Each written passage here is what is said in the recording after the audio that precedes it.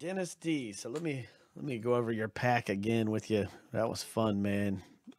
We just had all the guys in the room watching this pack. But anyway, there there's your basers here, your base cards.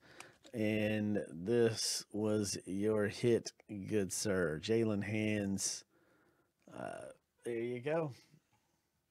Contenders draft basketball.